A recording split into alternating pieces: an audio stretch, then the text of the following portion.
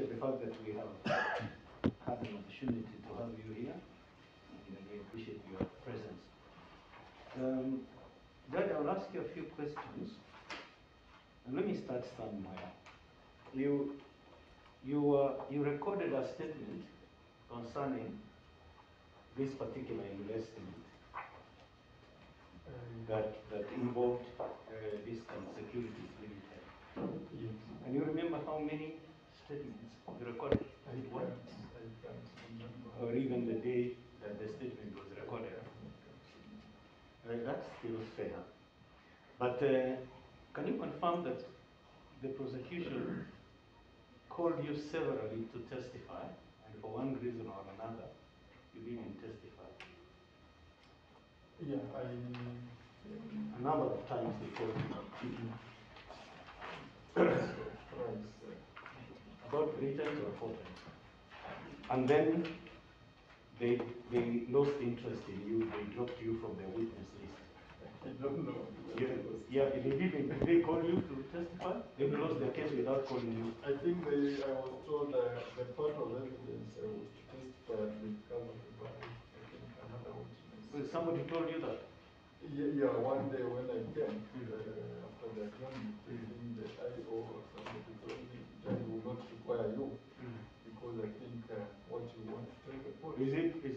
it's okay.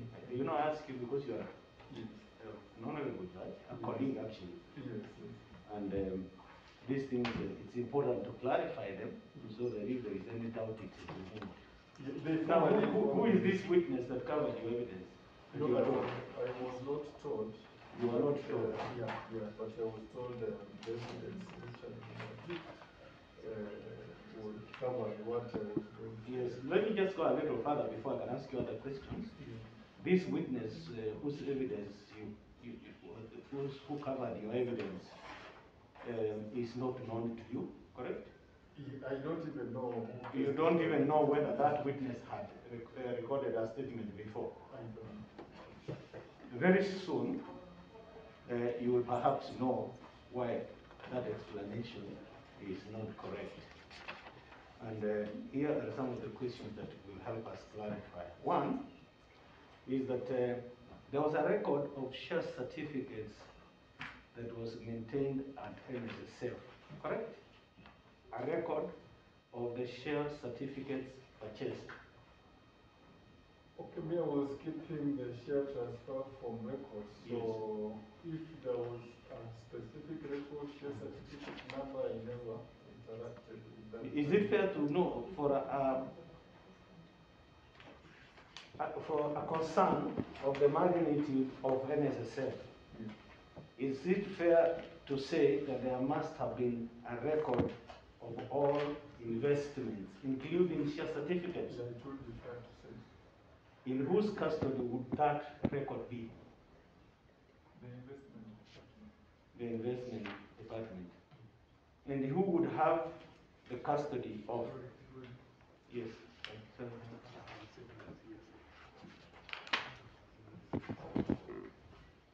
And can I proceed now?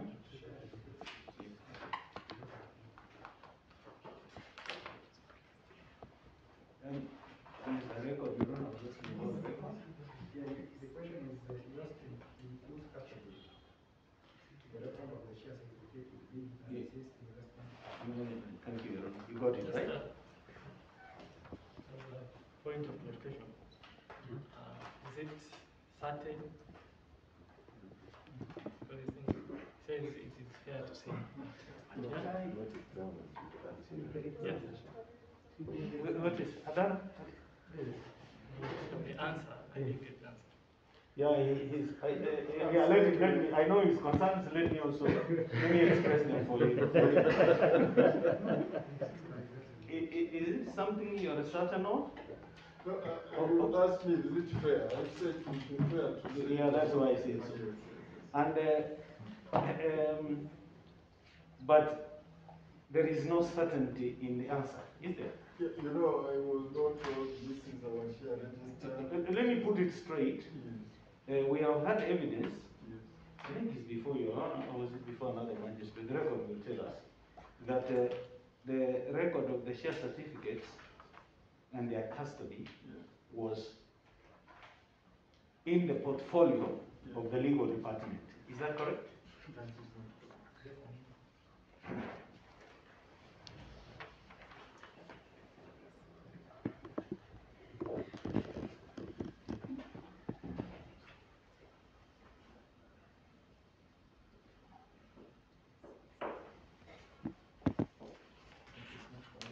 Because they would even have been retrieved from the. That's okay, yes. Um, Could it have been in the auditor's office? I can't uh, speculate. Eh? I can't say so. I You, can't- you can't say so. I can't say so. Could it have been in the finance manager's office? Which one do you- And that one you can say certainly no. I can't say. Would the finance manager have the responsibility of keeping a record of the share certificates and also keeping custody of those share certificates? Would that really, as a, as a, as a, as a, as a, uh, the legal doctor within NSSF, because that's what you are, would you expect, would you expect, would you expect share certificates and, and the, the records to be in the custody of the finance manager? You, you know, uh, maybe to understand the institution, Yes. the finance and the investment department Mm. was being supervised by the general manager, Mhm. finance, finance and investment. So the manager, if you talk of like uh, Mr. Muturi, had a boss also, Mm. about general manager, finance and investment, maybe the title is like that. So Yes, between them. But that's an administrative structure. There was a general manager administration. Yeah, I, I'm actually talking about some nitty gritty, Yes, yes. which, which you refer to as nit, I'm not talking about administrative And structure. So I wouldn't know, Yes. uh, because investment was also under that uh, general manager, Mm. where those uh, certificates, I would not, uh, okay, it's my opinion, it's not expected in the finance department. Okay, okay, that, that's still fair. Would you know who was responsible for following up? I mean, the delivery of share certificates?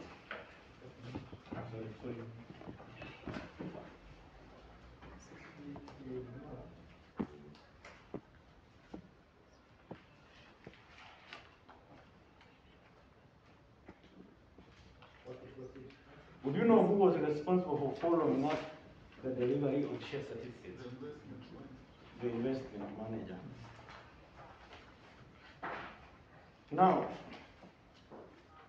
uh, you, you, you spoke with a lot of clarity about the sealing of the transfer form, and you said that was your responsibility.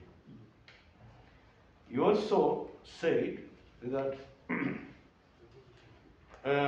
the documentation that came to your office, I mean, the documents that came to your office was that form for your sealing, and then there was a check that accompanied it. No. When, when was the check, huh? When I signed the form, Yes, together with that register, yes, you. Uh, see- See, see, yes, yes. I will just seal it Mhm. And put those number of forms, they could be twenty, they could be. In register. In that uh, blank book, Mhm. and be taken to the, to the Managing managing trustee's office. Now, from that end, the managing trustee will now talk to the relevant departments, finance for processing of the check. Yes, When that register now is taken to the board chair, yes, uh, he or she would expect that form to be there to sign yes. and the check. And the check. Oh, that's, that's, that's what I wanted. And, uh, uh, at that point in time, their has, performance has not been complete, in the sense that the shares have not been transferred. Because that form is the one that generates the transfer of the shares, isn't it?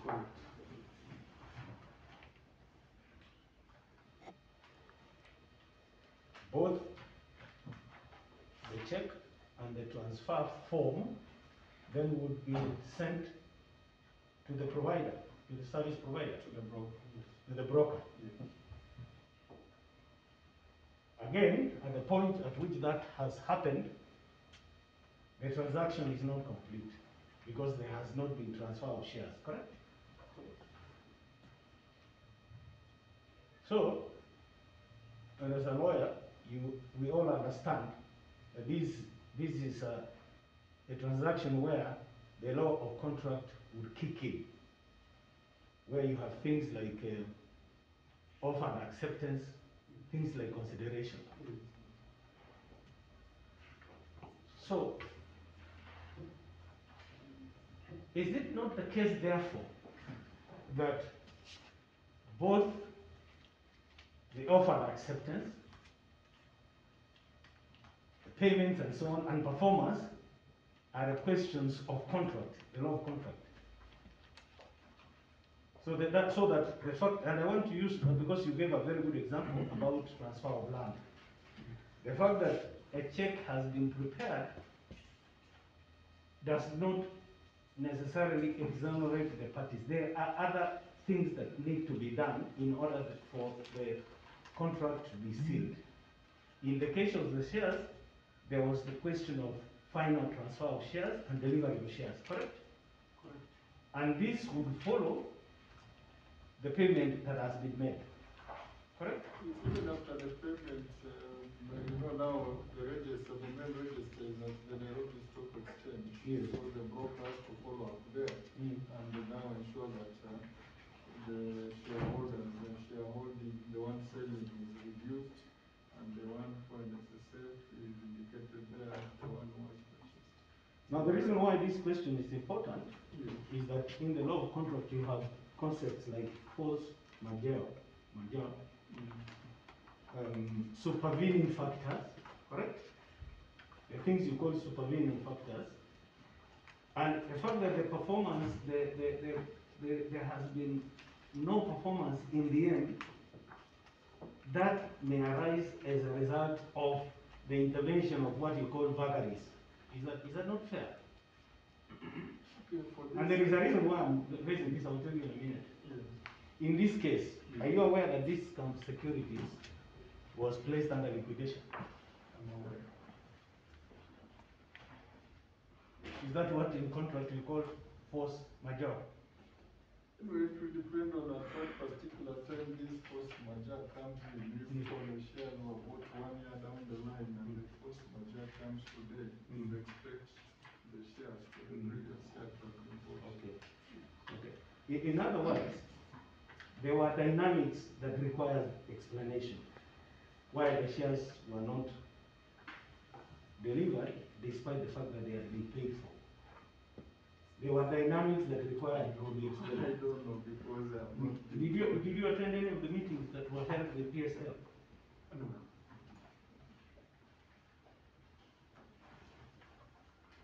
Now, uh, let me just ask something that is uh, uh, straight, that concerns my client. From your explanation, the way, when you gave evidence, you actually placed in the transaction of purchase of shares, the interaction with my client in that process occurred twice. I mean, my client got involved twice. One, Who's to, client my client is the finance manager. Oh, Yes. The, the finance manager, Mr. Mr. Koya. Um, he, he, he, he interacted with that process twice. First, by disclosing that there was surplus, there was availability of surplus funds for that investment, correct? Yeah, was, uh, And the second time he, he interacted with this process was when he, he processed payment. Is that correct? Any other time he was involved?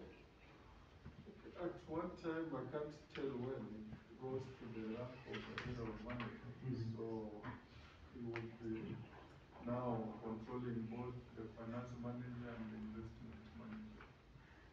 They were under him.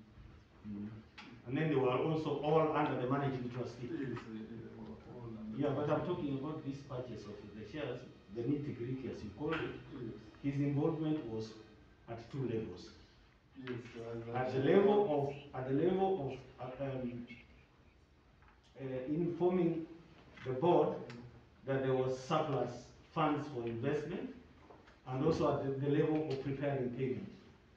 Yes, as a chair of the investment committee, he's not even informing the board. It's- we- we- It's not his information that there is surplus. We can all see after the after that. computation Yeah, that there is surplus. but then that is where he would come He in. would come in and, uh, And then the second time would be in of payment. Now, let us talk about uh, the preparation of payment. Is it correct what has been said here again and again uh, that he, he complied, the, the process of payment would kick in on instructions from the managing trustee? I would say so like what has been shown, that the investment manager will request the managing trustee to approve payment. Yes. All the, even mine. Yeah, yes. Uh, if you were in the panel. Yeah, yeah, just, just take us, take us, take us, take us through the process in a, in a slow manner, so that the point is uh, captured well. I would write to the managing trustee that we have this case, Mm. the board uh, appointed, uh, That is as a user as a user department. Yes, Kindly approve payment of Kenya shillings two million, Yes. and so and so. yes. So similarly, the investment manager Mhm. would uh, write to the managing trustee, their shares to be bought, kindly approve payment. So the managing trustee would uh, make comments on that particular document, Yes, uh, directed to the finance department. Yes. Either the general manager, finance, or the finance manager, kindly process payment, put his signature. and, and the finance manager, manager Yes. had to comply. Yes.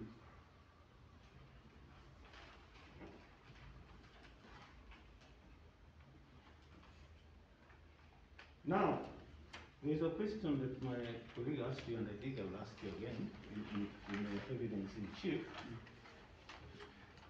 Now, uh, this whole process of purchase and acquire, uh, mm, uh, ordering and acquisition of shares, uh, there was always an audit that was done to take stock of what had gone on. There was always an audit, internal and external. Is that correct? Not, okay, always external will be done yearly. Yes. Internally, uh, we want our performance contracting, I believe the internal investment, the audit department had its own uh, system to conduct. So I wouldn't say weekly, I wouldn't say monthly. Yeah, wouldn't- whatever, but it was periodic. Yes, It was periodic. yeah, I can say period. And uh, reports were reports generated. Uh, the external auditor will generate a report. Auditor. Internal auditor, you can't say who generate a report because that, the internal auditor reports directly to the managing trustee or even to the board. Did you did you have a chance to see any of those reports for any reason? I can't recall it. You cannot recall. But um, uh, that report would naturally be incomplete without uh, these, the activities that you described today, the activities of sealing transfer forms and, and so on. Is. As a matter of interest, this, uh, because the, the, the, the, forms that, uh, the transfer forms and that register that you, that was forwarded to the managing trustee,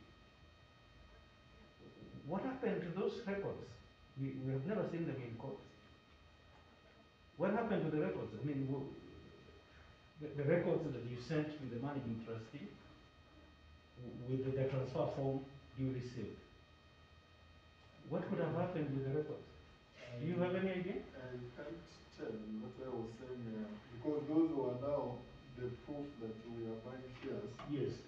So me, I would you know, as you have said, it's a contract between the seller and the NSSF. Yes. And uh, it will be taken to the broker and a copy ought to be returned by the, by the investment department as proof that uh, we report those shares. So the, the register is kept in the legal department, that one where I've seen it. Mhm. Yeah, the, even the phone number is there, uh, the right uh, number, uh, uh, share transfer form number this, number of shares this, then I see. I can't say where it Judge. I'm sure, and I will say this, because it's, it's a point I want to make out of it. I'm sure you are aware of an, an American humorist who once said that you don't go to a doctor whose house plants have died. In this case, your office played a very crucial role insofar as the legal affairs of NSSF was concerned. Do you remember any time filing a civil suit against Discount Securities Limited for non-performance yourself?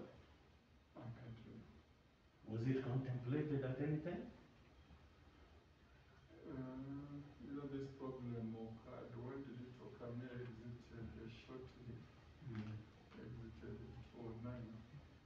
You know, when the case was filed and uh, I can't remember us filing a civil suit, yeah, when I was there. I could be wrong, I could be Was right. it contemplated? I'm not so sure. I do not. Okay, let me advance that statement a little further. Um, you would file a civil suit when you are convinced that there is default. You can't file a civil suit unless, unless you know there is, unless you know there is default, would you? A cause of action arises when there is default.